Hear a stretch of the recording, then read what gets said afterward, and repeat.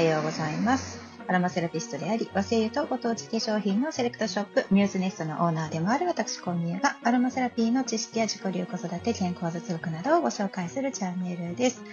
はい、本日はですね、暦で言うと、72項だとね、キリギリスとにありということだそうですよ。10月18日から22日分がですって。でもね、このキリギリスって実は、コオロギ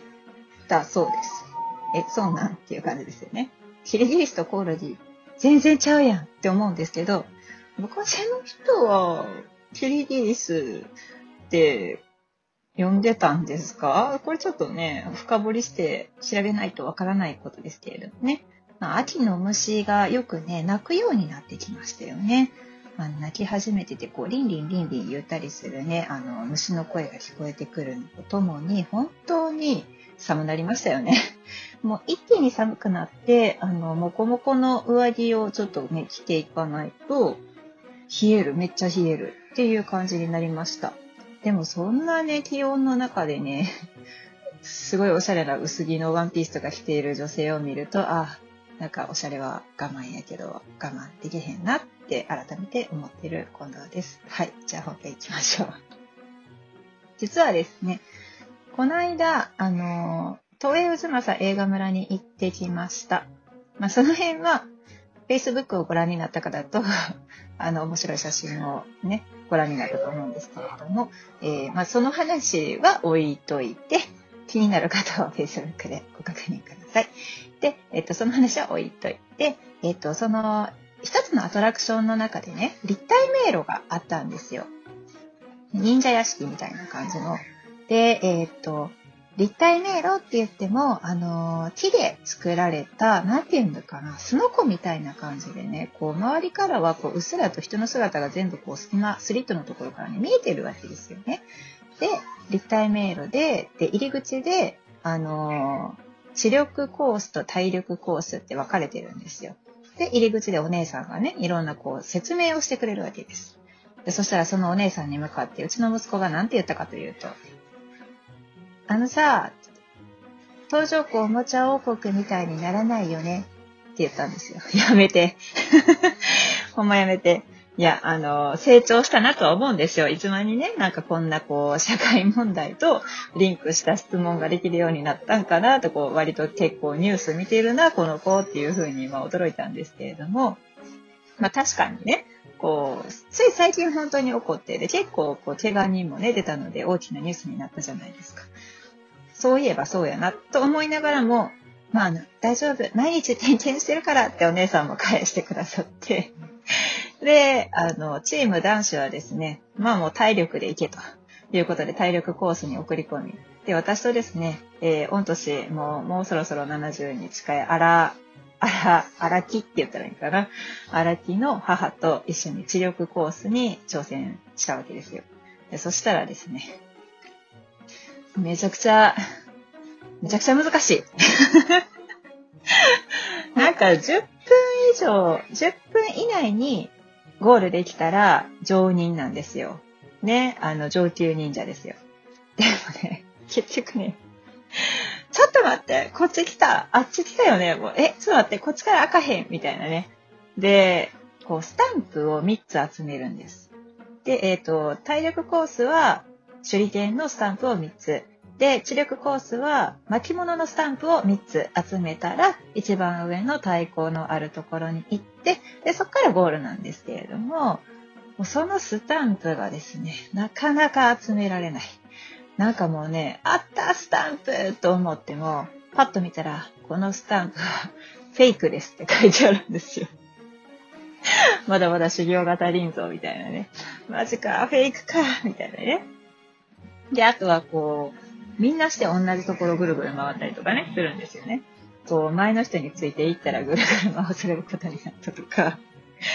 あと、あの、ちょっと係のお姉さんにちょっと物申したいんですけど、こう荷物はすべてロッカーに入れてくださいって最初から言っていただけたらちょっと嬉しかったなって。っていうのもね、その子供、ち、体のちっちゃい子供は、まあ、そもそも荷物も持ってないし、いけると思うんですけど、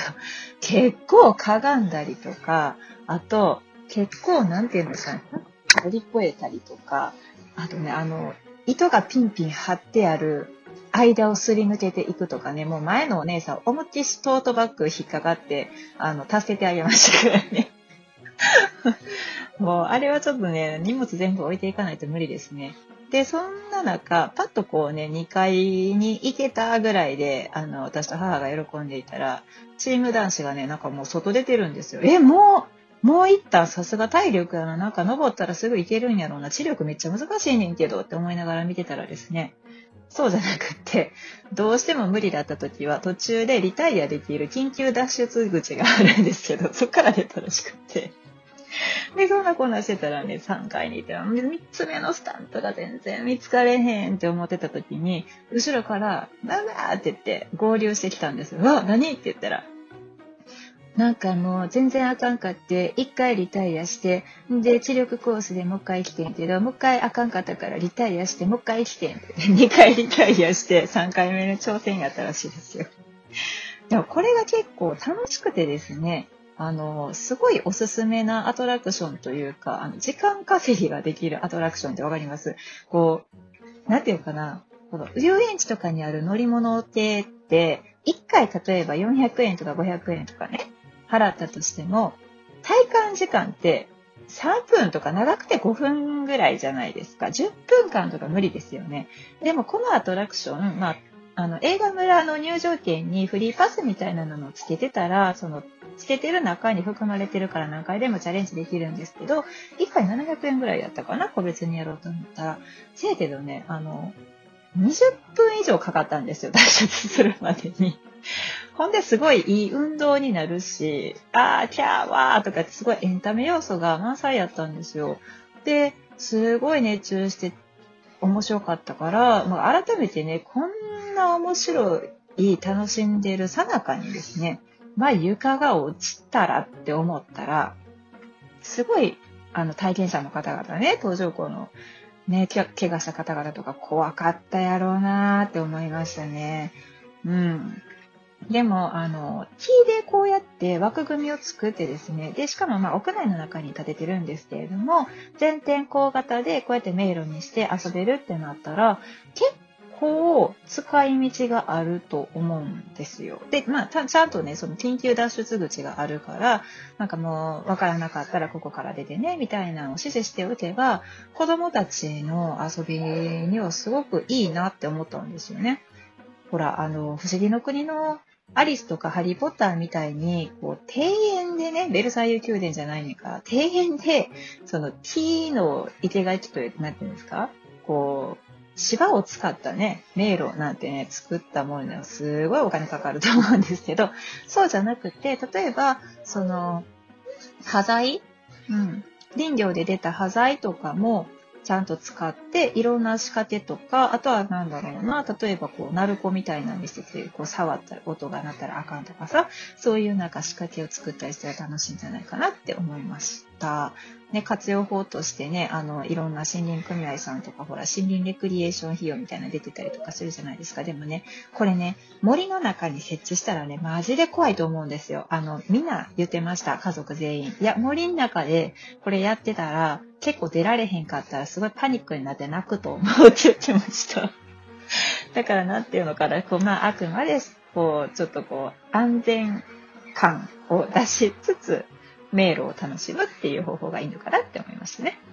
なんかこういうふうにね、気を活用したものづくりがいろんなところでできたらいいなと思っております。ここにね、なんか最新技術で、例えばデジタルをね、仕掛けたりとかすると、さらに楽しいんじゃないかなと思います。どなたかいろいろ作ってくださったら嬉しいなっていうのと、そこに、まあ、アロマセラピストならではで発想で考えると、いろんな香りを仕掛けてるとね、もっと気分的に盛り上がるんじゃないかなって思いました。以上、和製油とご当地コスメの専門店ミューズネスのオーナー、コミューがお届けしました。ではでは。